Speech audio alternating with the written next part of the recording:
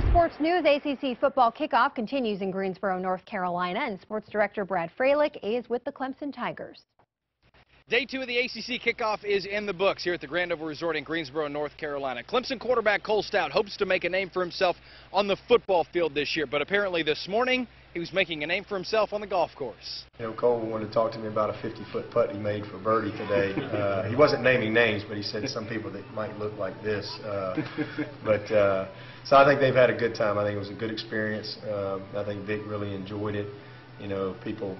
I'm not sure people really know Vic, uh, and uh, so he's an interesting guy to, to get to know as you spend a little time with him. So I think it was good for for him. One bit of news to pass on today here at the Grandover. The ACC preseason poll was released. Florida State, the overwhelming favorite to win the conference this year, coming off that national championship. Clemson was picked to finish second. In Greensboro, Brad Fralick, WYFF News 4.